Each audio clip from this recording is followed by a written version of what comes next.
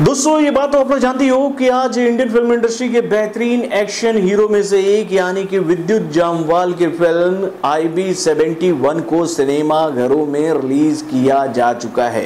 तो भाई, कैसी है ये फ़िल्म क्या है इस फ़िल्म की कहानी? कैसा है इस फ़िल्म का फ़िल्म मेकिंग ये सारी जानकारियाँ मैं आपके सामने रखने वाला था। इस फ़िल्म को सिनेमा घरों में जाकर देखकर। लेकिन इससे पहले कि मैं अपने शहर के नज़दीकी सिनेमा घरों तक पहुँच पाता कि भैया मुझे इस बात की जानकारी मिल गई कि भैया इस फ़िल्म के जो मॉर्निंग के दो शो थे ना पीजेपी सिनेपोलिस में वो कैंसिल कर दिए गए हैं ऑडियंस नहीं होने की वजह से। इस वक्त दोपहर के ग्यारह बज रहे हैं और मैं आपको अपने मोबाइल के स्क्रीन पर यह बात दिखाने की कोशिश करता हूँ कि भैया मेरे शहर में इस फ़िल्म के तीन शो अब मुझे देखने को मिल रहे हैं पीजेपी सिनेपोलिस में और दो शो आईलेक्स में देखने को मिल रहे हैं। अगर मैं पीजेपी सिनेपोलिस के दो बज के पंद्रह मिनट के शो के एडवांस बुकिंग के सेंटर को खोलता हूँ तो यहाँ पर मैं आपको ये बात दिखाना चाहूँगा कि देखिए,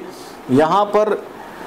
तीन लोगों का एडवांस बुकिंग हुआ है, जिसको देखने के बाद ये बात तो साफ़ हो रही है कि भाई शायद ही इस फ़िल्म का दो बज के पंद्रह मिनट वाला शो जो है वो चल पाए उसके बाद अगर आप देखोगे चार बज के पैंतालीस मिनट वाला शो तो भैया यहाँ भी इस फ़िल्म को केवल एक, दो, तीन, चार, पाँच छः सात, आठ का एडवांस बुकिंग मिला यानी कि आठ लोगों ने इस फ़िल्म की एडवांस बुकिंग की है दो बज के पैंतालीस मिनट के लिए। उसके बाद इस फ़िल्म का जो दस बजे का शो है पीजेपी सिनेपोलिस में, यहाँ पर इस फ़िल्म को थोड़ा सा एडवांस बुकिंग मिला है, जिसको देखने के बाद ये बात तो कन्फर्म हो रही है कि भैया नाइट वाला शो तो इस फ़िल्म का ज़रूर चलेगा। अब मेरी उम्मीद टिकी हुई है भैया आईलेक्स के ऊपर, क्योंकि आईलेक्स में इस फ़िल्म का बारह बजे का एक शो है। तो भैया बारह बजे के शो को अगर मैं खोलता हूँ तो यहाँ पर मैं ये बात देख रहा हूँ कि भैया आईलेक्स में केवल इस फ़िल्म को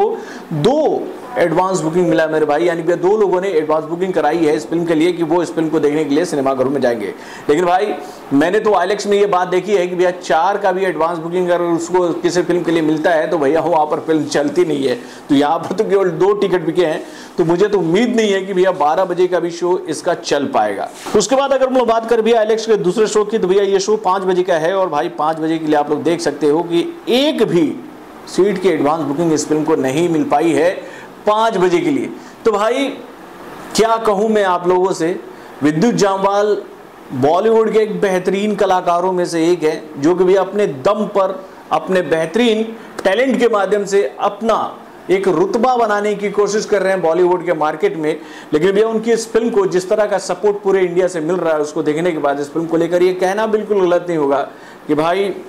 अगर मेरे शहर में इस फ़िल्म का ये हाल है तो भैया हो सकता है कि इंडिया के और भी कई सारे सिनेमाघरों में इस फ़िल्म का यही हाल होगा, या फिर अगर अच्छा होगा तो भैया बढ़िया, हम तो पॉजिटिव में सुनना चाहे कि भैया चलो मेरे शहर में इस फ़िल्म के दो शो कैंसिल हुए हैं, तीसरा शो भी मुझे लगता है, आईलेक्स मतलब कैंसिल ही होने वाला है। तो दूसरे शहरों में इस फ़िल्म को अच्छा सपोर्ट मिलना चाहिए मेरे भाई। अगर वहाँ पर ये फ़िल्म चलेगी, वहाँ से पॉजिटिव रिस्पांस इस फ़िल्म को लेकर आएगा हम लोगों के सामने तो नो डाउट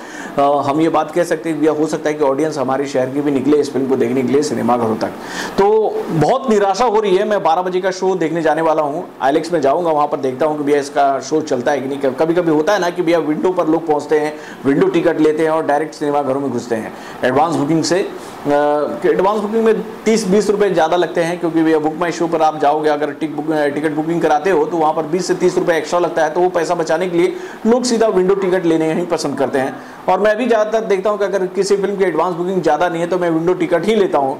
तो होपफुली हम उम्मीद करेंगे कि आइलेक्स में 12 बजे का शो इसका मिल जाए मुझे और इस फ़िल्म को देखकर मैं आप लोगों के सामने इस फ़िल्म का रिव्यू रख सकूँ। तो भैया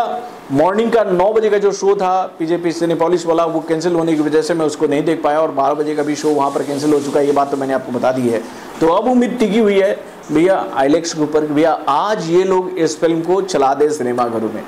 तो मैं आप लोगों से बस यही जानकारी देने वाला था क्योंकि भैया, मेरे कुछ मित्र मुझसे ये बात कर रहे थे कि आपने इस फ़िल्म को देखा कि नहीं, आप इस फ़िल्म को लेकर कोई अपडेट अभी तक नहीं दिए हो। क्योंकि भैया, जब भी मैं कोई फ़िल्म देखने के लिए जाता हूँ सिनेमाघरों में तो अपने कम्युनिटी सेंटर में उसका एक स्क्रीन देता हूँ कि मैं इस फ़िल्म को देखने के लिए आया हूँ। तो दोस्तों, अभी तक मैंने आई बी सेवेंटी वन को नहीं देखा है, क्योंकि भैया, दो शो कैंसिल हो गए यार, बुरी खबर।